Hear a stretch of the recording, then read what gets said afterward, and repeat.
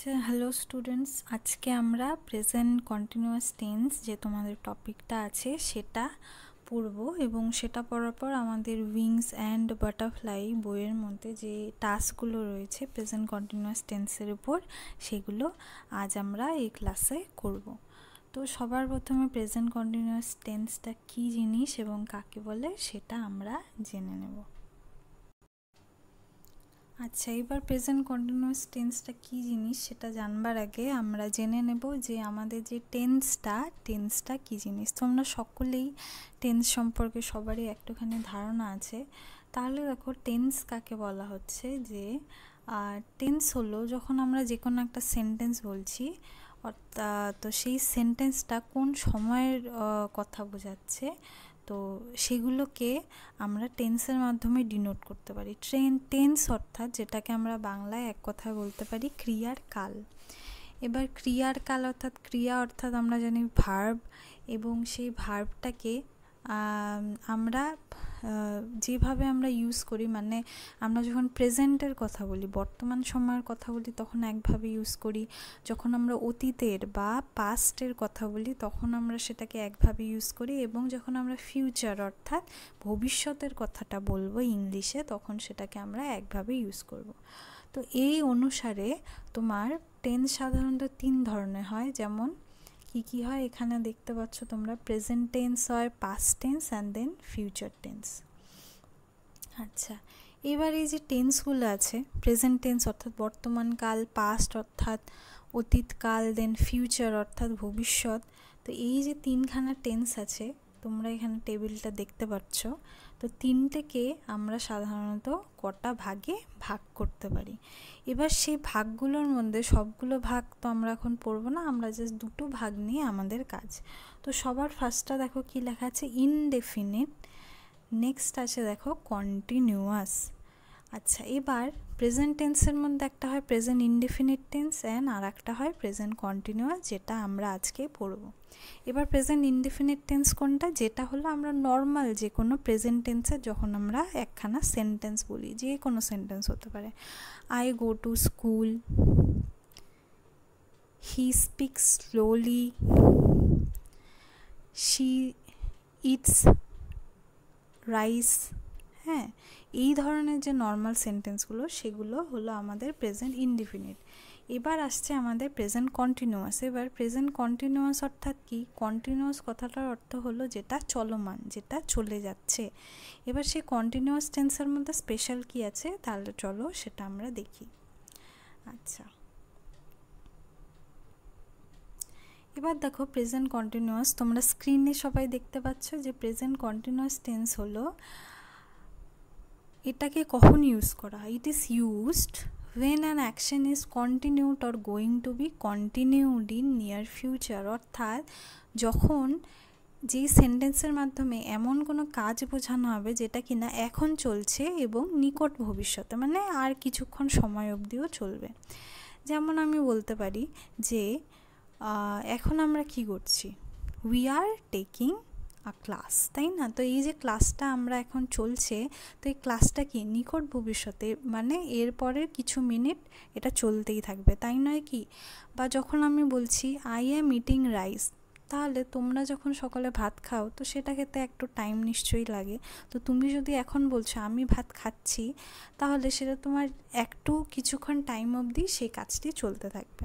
তো যে কাজগুলি বর্তমানে চলছে এবং কিছুক্ষণ সময় অবধি চলবে, সেগুলো বোঝাবার জন্য আমরা যে টেন্সটা ইউজ করব, সেটাকে আমরা বলি প্রেজেন্ট কন্টিনিউয়াস টেন্স। এবার প্রেজেন্ট কন্টিনিউয়াস টেন্সে দেখো বাংলায় এখানে কি লেখা আছে?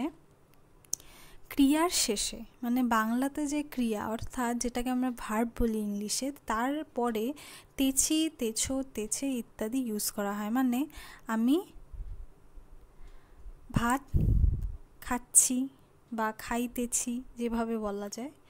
এবারে দেখো এখানে আছে যেমন প্রথমটা, এই স্ট্রাকচারটা তোমরা সবাই দেখো। এখানে দেখো আছে সাবজেক্ট সাবজেক্ট অর্থাৎ আমরা এর আগেই, আগের ক্লাসে সাবজেক্ট প্রেডিকেট পড়েছি। সাবজেক্ট অর্থাৎ কর্তা, অর্থাৎ যার সম্পর্কে একটি সেন্টেন্সটি বলা হচ্ছে, বাক্যটি বলা হচ্ছে। যেমন আমরা যদি ফার্স্ট সেন্টেন্সটা দেখি দেখো I am reading a book তো এর মধ্যে সাবজেক্ট কোনটা আমার? আই অর্থাৎ সাবজেক্টের জায়গায় আমি ভাবলাম এখানে আই তারপরে দেখো কি আছে? প্লাস এরপরে আমাদের কি বসবে?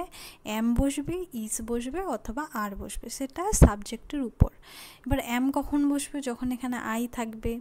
ইউজ সরি ইউ ইস কখন বসবে? যখন সেখানে তোমাদের কোনো যে কোনো ধরনের নাম থাকবে, কোনো থার্ড পার্সন থাকবে হ্যাঁ? তারপর আর কখন বসবে? যখন আমাদের সেকেন্ড পার্সন থাকবে বা থার্ড পার্সন প্লুরাল নাম্বারগুলো যেমন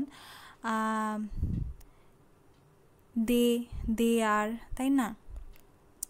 তারপরে বা ইউ আর বা আমাদের যখন প্লুরাল ফর্মে ফার্স্ট পার্সনে যেমন উই উই আর এগুলোর ক্ষেত্রে আমরা আর বসাবো। তারপরে দেখো কি আছে? তারপরে আছে ভার প্লাস আইএনজি মানে তারপর যে কাজটার কথা এখানে বলা হচ্ছে, সেটার পরে, সেই ভার্বের পরে আমরা একটা আইএনজি যোগ করে দেবো। তো প্রথম এক্সাম্পলটা তোমরা দেখো, আমি বই পড়িতেছি বা পড়ছি, কি কি লেখা আছে? I am reading a book তো আই এখানে সাবজেক্ট হয়ে গেল, তারপর আমরা এম ইজ আর এই তিনটের মধ্যে আই এর সাথে কোনটা যাচ্ছে? এম যাচ্ছে। তো এম বসিয়েছি। দেন দেখো আছে আমার ভার্বটা রিড প্লাস আইএনজি রিড অর্থাৎ পড়া, তার সঙ্গে আইএনজি যোগ করেছি রিডিং তারপরে আছে আমার অবজেক্ট অর্থাৎ আ বুক তাহলে হয়ে গেল নেক্সট আমরা দেখো, আমরা বই পড়িতেছি। তো আমরা অর্থাৎ উই উই এখানে সাবজেক্ট তারপর সাবজেক্টের বেসিসে এম ই সারের মধ্যে এখানে আমরা ইউজ করেছি আর উই আর রিডিং বুকস এখানেও রিডের সাথে আমরা আইএনজি যুক্ত করেছি। নেক্সট দেখো তুমি অথবা তোমরা বই পড়িতেছ বা পড়ছো। আচ্ছা ইংলিশের ক্ষেত্রে তুমি বা তোমরা দুটোর ক্ষেত্রে আমরা ইউ ইউজ করি। তো ইউ এর সাথে দেখো আমরা আর ইউজ করেছি, তারপর রিডিং আ বুক অথবা এখানে বুকসও হতে পারে। তারা বই পড়ছে। দে আর রিডিং বুকস হলো। তারপরে দেখো, এবার আজ রাত্রে আমি দিল্লি যাব। I am going to Delhi tonight তো এটা কি বোঝাচ্ছে? নিয়ার ফিউচার নিকট ভবিষ্যৎ। উপরেই দেখো আমরা পড়েছি এর ডেফিনেশনে যে কোনো কাজ চলছে বা নিকট ভবিষ্যতেও চলবে। বা এখানে আমরা বলতে পারি যে কাজগুলো নিকট ভবিষ্যতেও হবে, সেটার ক্ষেত্রে আমরা কিন্তু প্রেজেন্ট কন্টিনিউয়াস টেন্স ইউজ করতে পারি। যেমন এখানে আছে, দেখো, আজ রাতে আমি দিল্লি যাব I am going to Delhi tonight এটা নিয়ার ফিউচার বা আমার কাকা, এখানে আমি কাকা আছে, এটা হবে আমার কাকা, আগামীকাল এখানে আসছেন my uncle is arriving here tomorrow তার মানে এটাও দেখো স্ট্রাকচারটা মাই আঙ্কেল আছে, তারপরে আমরা ইস ইউজ করেছি, তারপরে আছে অ্যারাইভিং অ্যারাইভ যেটা ভার্ব সেটার সঙ্গে আইএনজি যুক্ত করেছি করে হিয়ার টুমরো এটা আমাদের হয়ে গেল অবজেক্ট আচ্ছা। তো এটাকে আরোভাবে একটু বেটারভাবে দেখার জন্য আমরা তোমাদের নেক্সট স্লাইডে চলে যাব। আচ্ছা এবার তোমরা যদি এই স্লাইডটা কন্টিনিউ করো, এখানে একটু বেশ পরিষ্কারভাবে ভালো করে দেওয়া আছে। যে কীভাবে প্রেজেন্ট কন্টিনিউয়াস টেন্সের ক্ষেত্রে আমরা সেন্টেন্সগুলোকে তৈরি করব। যেমন প্রথমে দেখো আছে আই আছে সাবজেক্টের জায়গায়, তারপরে প্লাস দিয়েছি এম প্লাস দিয়েছি ওয়ার্কিং আই অ্যাম ওয়ার্কিং ওয়ার্কিংটা কি? ওয়ার্ক কি? ওয়ার্ক হলো আমার ভার্বের ফার্স্ট ফর্ম তাই না? তার সাথে আমি যুক্ত করেছি আইএনজি নেক্সট দেখো আছে হি সি ইট এবার এই তিনটের সাথে সবসময় কি ইস হয়? এবার সেটা কি আছে দেখো? হি ইজ ওয়ার্কিং তো এখানেও ভার্বের ফার্স্ট ফর্ম যে ওয়ার্ক তার সাথে আইএনজি দেন আছে দেখো ইউ উই ইউ তে এই চারটা জিনিসের সঙ্গে সবসময় আর আসে। তো সেটার সঙ্গে দেখো আমরা কি লিখেছি? ওয়ার্কিং অর্থাৎ তোমরা একটা জিনিস নিশ্চয়ই লক্ষ্য করছ যে কোন জিনিসটা চেঞ্জ হচ্ছে। সাধারণত আমাদের মাঝখানে আমরা যে বি ভার্বগুলো ইউজ করছি বি ভার্ব কোনটা? আমাদের অ্যামিজ আর এই তিনটাকে যখন আমরা ইউজ করছি, সেটার ক্ষেত্রেই আমার এই চেঞ্জটা হচ্ছে। সেটা সাবজেক্ট অনুযায়ী। তো সুতরাং তোমরা এই যে জায়গাটা আছে, এই জায়গাটা তোমরা স্ক্রিনশট করে এটা ভালোভাবে একবার মাঝে মাঝে চোখ বুলিয়ে নেবে। এটা তোমরা সবাই জানো যে কোন সাবজেক্টের সঙ্গে কোনটা আসবে। আই এর সাথে এম আসবে, হি, সি ইটের সাথে ইস আসবে, ইউ, উই, ইউ, দে, এদের সাথে আর আসবে। এবং যদি কোনো নাম থাকে, যেমন ধরো রাম ইজ ওয়ার্কিং, সেটার সাথে সবসময় ইস আসবে। তো এটা তোমরা মনে রাখবে, এটা তোমরা আগেই জানো। যেমন এক্সাম্পল এখানেও আছে he is working in the garden এখানে সাবজেক্ট আছে হি বি ভার্ব আমরা ইস ইউজ করেছি। এবার এখানে দেখো ওয়ার্ক আছে আমাদের এখানে ভার্ব তার সাথে আমরা আইএনজি যুক্ত করেছি ইন দ্য গার্ডেন আচ্ছা এবার এগুলোকে যখন আমি নেগেটিভ সেন্সে ইউজ করব মানে এখানে আছে আমি কাজ করছি আই অ্যাম ওয়ার্কিং কিন্তু আমি যখন কাজ করছি না আই অ্যাম নট ওয়ার্কিং তো সেখানে দেখো আমরা কি করব? বি ভার্বের সঙ্গে আমরা একটা নট যুক্ত করে দেব, তাহলে সেটা নেগেটিভ হয়ে যাবে, ঠিক আছে? আই অ্যাম নট ওয়ার্কিং তারপরে নেক্সট দেখো হি ইজ নট ওয়ার্কিং আচ্ছা এখানে ইজ নটের নিচে দেখো তোমরা ইজ আই এস এন তারপরে অ্যাফোস্টপি দিয়ে একটা টি রয়েছে। তো দ্যাট ইজ ইজেন্ট মানে এটা shorter form is নটের shorter form that is isn't next আছে দেখো ইউ আর বা আরেন্ট ওকে তো এগুলো তোমরা একবার চোখ বুলিয়ে নেবে, এগুলো ভীষণই সোজা। আচ্ছা নেক্সট আছে কোয়েশ্চেন মেকিং তো কোয়েশ্চেন মেকিং আমরা কিছু কিছু করেছি, তাই না? ডব্লিউএইচ ওয়ার্ড দিয়ে। তো এখানেও আমরা এগুলোকে কোয়েশ্চেন করতে পারি, যেমন অ্যাম আই ওয়ার্কিং মানে যেটা বি ভার্ব সেটাকে যদি সামনে আমরা দিয়ে দিই, তাহলে সেটা কোয়েশ্চেন হয়ে যাবে। যেমন এখানে আছে দেখো am I working is he working is she working is it working are you working are we working তো এইভাবে এগুলো জাস্ট তোমরা চোখ বুলিয়ে নেবে। এগুলো তোমাদের খুব বেশি ইম্পর্টেন্ট না বাট এগুলো তোমাদের পরে লাগতে পারে। তো যেমন এক্সাম্পল দেখো he is working in the garden আর সেটাকে আমরা কোয়েশ্চেন ফর্মে কীভাবে করব? জাস্ট ইজটাকে হিয়ের আগে দিয়ে দেব দেন সেটা কোয়েশ্চেন হয়ে যাবে। তো এটাকে তোমরা একবার চোখ বুলিয়ে নাও। তো এরপরে আমরা তোমাদের উইংস বইয়ে এটার ভালোভাবে এক্সপ্লেনেশন দেওয়া আছে। তো সেই এক্সপ্লেনেশনগুলো আর একবার দেখে নেব। আচ্ছা এবার তোমরা সবাই চলে আসো তোমাদের উইংসের পেজ নাম্বার সেভেন্টি সেভেনে এর আগেরটুকু এগুলো তো আমরা করেছিলাম আই গেস তো তারপর প্রেজেন্ট কন্টিনিউয়াস টেন্স এবার এখানে দেখো আমাদের কয়েকটি সেন্টেন্সের এক্সাম্পল দেওয়া রয়েছে, তো সেগুলো একবার আমরা দেখে নিচ্ছি। Students are going to school ছাত্রেরা স্কুলে যাচ্ছে। My grandmother is telling me a story আমার ঠাকুমা আমায় একটি গল্প বলছেন। I am planting a tree আমি একটি গাছ লাগাচ্ছি। এবার কি বলেছে দেখো উপরে সবকটি সেন্টেন্সে দেখবে তোমরা যে আর গোয়িং এটা একটু ডিপ করে লেখা, অর্থাৎ বোল্ড করে লেখা। ইজ টেলিং এটাও একটু ডিপ করে লেখা এম প্লেন্টিং এটাও তাই। তো এখানে দেখো কি বলেছে যে in all the three sentence ING is added with verb অবশ্যই যেমন প্রথম সেন্টেন্সের ক্ষেত্রে গোয়ের সাথে আইএনজি যোগ হয়েছে ইন সেন্টেন্স টু টেলের সাথে আইএনজি যোগ হয়েছে, ইন সেন্টেন্স থ্রি প্ল্যান্টের সাথে আইএনজি যোগ হয়েছে, তাই না? এই তিনটাই ভার্ব, তাহলে ভার্বের সঙ্গে আমরা আইএনজি যুক্ত করেছি। যেমন এখানে দেখো সুন্দরভাবে এক্সপ্লেনেশনও দেওয়া আছে। Go plus ING going, tell plus ING telling, plant plus ING planting. আচ্ছা এবার এই তিনটি ক্ষেত্রে ঘটনাটি এখন বা এই মুহূর্তে ঘটে চলেছে।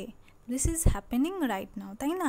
আমি গল্পটা এখনই শুনছি, আমি স্কুলে এখনই যাচ্ছি মানে স্টুডেন্টসরা স্কুলে এখনই যাচ্ছে, আমি গাছটা এখনই লাগাচ্ছি, তাই না? তার মানে ঘটনাটা এই মুহূর্তে ঘটছে। আচ্ছা তাহলে দেখো কি বলল যে all these facts show that the verbs mentioned above are in the present continuous tense. এবং উপরের এই ঘটনাগুলি, উপরের এই সেন্টেন্সগুলি এগুলো পড়ে আমরা কি বুঝতে পারছি যে এগুলি ঘটনাগুলি বর্তমানে ঘটছে, অর্থাৎ এগুলো কি প্রেজেন্ট কন্টিনিউয়াস টেন্স আচ্ছা এবার দেখো এখানে কিছু ফ্যাক্টস আছে, যেমন when an action goes on at the time of speaking অর্থাৎ কথা বলবার সময়, আমরা যখন বলছি সেই সময়ে যখন একটা কাজ হচ্ছে, যেমন আমি বই পড়ছি, আমি যে কথাটা বললাম যে আমি বই পড়ছি, তার মানে এখনই আমি বই পড়ছি। আমি ভাত খাচ্ছি, আমি যে বলছি যে আমি খাচ্ছি, তার মানে আমি এখনই খাচ্ছি। তো আমরা যখন কোনো কথা বলছি, সেই সময়ে যখন কাজটি চলছে the verb is said to be is present continuous tense তার মানে সেই যে ভাবটি সেটা কি ডিনোট করছে? প্রেজেন্ট কন্টিনিউয়াস টেন্সকে ডিনোট করছে। তাহলে নিচে বাংলায় দেখো লেখা আছে, কোনো কাজ চলছে, এরূপ বোঝালে ভার্বের প্রেজেন্ট কন্টিনিউয়াস টেন্স হয়। আচ্ছা ওকে আচ্ছা নেক্সট দেখো এখানে আমাদের শুধু, এখানে যে সেই যে চার্টটা আমরা একটু আগে করলাম, ঠিক সেইভাবেই দেওয়া। টাইপ ওয়ানের ক্ষেত্রে দেখো কি আছে, বলছে আই এর সাথে সবসময় এম হবে এবং ভার্বের সাথে যোগ হবে আইএনজি এটা মাইনাসের মতো দেওয়া, এটাকে যদি প্লাস করে দিও তোমরা, তাহলে সেটা তোমাদের বুঝতে অসুবিধা সরি সুবিধা হবে। বুঝতে। সো দেখো এখানে কি আছে? I am writing a letter তাই না? তার মানে এখানে ভার্ব কোনটা আমাদের রাইট তার সাথে আমরা একটা আইএনজি যুক্ত করেছি করে এটা সেন্টেন্সটা হলো I am writing a letter type two এর ক্ষেত্রে ঠিক আগের স্লাইডের মতো হি সি ইট এই তিনটে এবং যে কোনো ব্যক্তি বা বস্তুর নামের সাথে সবসময় আমাদের কি ইস হবে? তারপর ভার প্লাস আইএনজি হবে। এটা মাইনাস সাইনটাকে তোমরা একটু প্লাস করে দিও। থ্রিটা কি? টাইপ থ্রিটা ইউ, উই, দে বা অনেকে একসঙ্গে থাকলে, যখন প্লুরাল নাম্বার বোঝাবে যে কোনো জিনিসে। যেমন দেখো এখানে the boys are learning their lesson সেই ক্ষেত্রে আমরা আর ইউজ করব দেন ভার্বের সাথে আইএনজি যেমন দেখো এখানে দে আর প্লেয়িং ফুটবল প্লেয়ের সাথে আইএনজি যুক্ত করেছি। তারপরে সেকেন্ড সেন্টেন্সে লার্নের সাথে আইএনজি যুক্ত করেছি, করে সেন্টেন্সগুলো হয়েছে। এবার নিচে তোমাদের কিছু সেন্টেন্স দেওয়া রয়েছে। সেগুলো আমরা একবার পড়ে নেব। Ajay is a naughty boy he is going to school alone what is he doing on his way তাহলে অজয় একটি দুষ্টু ছেলে। সে স্কুলে একা একা যাচ্ছে। অ্যালোন মানে কি? একা। একা একা স্কুলে যাচ্ছে। What is he doing on his way তাহলে সে অন হিস ওয়ে মানে স্কুলে যাওয়ার পথে কি কি করছে? Ajay is walking on the road, Ajay রাস্তায় হাঁটছে। Ajay is jumping on the road, Ajay রাস্তায় লাফাচ্ছে। Ajay is plucking flowers from the road side garden R Ajay road side garden, অর্থাৎ রাস্তার ধারের বাগানগুলি থেকে প্লাকিং ফ্লাওয়ার্স, অর্থাৎ ফুল তুলছে, ফুল ছিটছে। So the above sentences uh, show some actions that are happening at present. তাহলে উপরের সেন্টেন্সগুলিতে এমন কিছু অ্যাকশন দেখাচ্ছে মানে কিছু কাজ দেখাচ্ছে যেটা কিনা আমাদের প্রেজেন্টে বর্তমানে হচ্ছে। So the sentences are in present continuous tense তার মানে উপরের সেন্টেন্সগুলি রয়েছে আমাদের প্রেজেন্ট কন্টিনিউয়াস টেন্সে আচ্ছা এবার প্রেজেন্ট কন্টিনিউয়াস টেন্সে নিচে দেখো কি লেখা আছে denotes an action that is going on at present and yet not completed present continuous tense এমন কিছু অ্যাকশনকে এমন কিছু কাজ বোঝায় যেগুলো কি না হয়ে চলেছে এবং এখনও সেটা সম্পূর্ণ হয়নি, সেটা সম্পূর্ণ হতে কিছুটা সময় লাগবে। I am singing now Priya is playing now my friends are studying হ্যাঁ? তো এগুলো হলো আমাদের প্রেজেন্ট কন্টিনিউয়াস টেন্স তার মানে তোমরা নিশ্চয়ই বুঝেছ।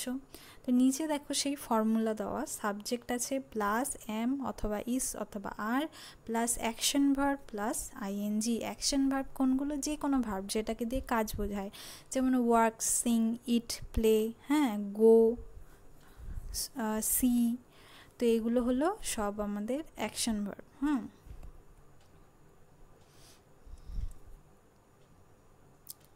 আচ্ছা নেক্সট দেখো অ্যাক্টিভিটি সিক্স অ্যাক্টিভিটি সিক্সে ভার প্লাস আইএনজি যোগ করে আমাদের কিছু সেন্টেন্স বানাতে হবে। তো সেগুলো দেখো এখানে কিছু করে দেওয়াই আছে। যেমন ফার্স্ট আছে অ্যাক্ট এবার অ্যাক্টের সাথে আইএনজি যুক্ত করতে হবে। তো অ্যাক্ট প্লাস আইএনজি তো ফার্স্ট সেন্টেন্সটা দেখো কি, Uttam Kumar was acting in a film Amanush. হ্যাঁ অ্যাক্টের সাথে আইএনজি আচ্ছা এবার আচ্ছা এটা প্রেজেন্ট কন্টিনিউয়াস টেন্স হবে, তো আমরা এই জিনিসটাকে একটু চেঞ্জ করে দেবো। এটাকে পাস্ট কন্টিনিউয়াস টেন্সে হয়ে গেছে, ঠিক আছে? তো চলো চেঞ্জ করে তারপর আমরা এটা আবার কন্টিনিউ আচ্ছা এবার দেখো আমি এক্সাম্পলগুলো এখানে চেঞ্জ করে দিয়েছি। তো ফার্স্ট দেখো আছে act she is acting like a foolish সে বোকার মতো আচরণ করছে। নেক্সট আছে দেখো walking they are walking on the beach হ্যাঁ তারা বিচের মধ্যে মানে সমুদ্রের বিচে তারা হাঁটছে। Sing Rani is singing a song then আছে go where are you going with your sister তো এই কটা আমরা করলাম। আচ্ছা অ্যাক্টিভিটি সেভেনে দেখো fill in the blanks with correct form of the verb মানে correct form of the verb মানে কী করতে হবে? ব্ল্যাঙ্কসের মধ্যে দেখো ব্র্যাকেটে যে ভার্বগুলো দেওয়া আছে, সেগুলোকে আমরা কন্টিনিউয়াস ফর্মে এখানে লিখব। যেমন the man dash dash in his office room এখানে ভার্বটা আছে আমার ওয়ার্ক তাহলে দেখো কি? Is working in his office room আচ্ছা তারপরে দেখো মকবুল অ্যান্ড রাহুল, এনজয় আছে, তো সেটাকে আমরা কি করব? আর এনজয়িং, এনজয়ের সাথে আইএনজি যুক্ত করলাম। আর যেহেতু মকবুল অ্যান্ড রাহুল দুজন আছে, প্লুরাল নাম্বার, তাই না? তাই তাদের সাথে আর বসিয়েছি। তিন নাম্বার দেখো, উই ড্যাশ ড্যাশ গো আচ্ছা to celebrate the Vidyasagar week in our school. এখানে ভার্ব দেওয়া আছে গো, তাহলে যেহেতু উই আছে উই এর সাথে আমরা বসাবো। আর এবং গো এর সাথে আমরা বসাবো ING we are going to celebrate the Vidyasagar week in our school number four আছে দেখো the students are cleaning their hands before their meal ছাত্ররা তাদের হাত খাবার আগে ধুয়ে নিচ্ছে। তো ভার্ব আছে আমার এখানে ক্লিন যেহেতু আমার এখানে স্টুডেন্টস আছে, অর্থাৎ অনেকজন ছাত্র রয়েছে, তাই আমরা ইউজ করেছি আর এবং ক্লিনের সাথে আমরা আইএনজি যুক্ত করেছি।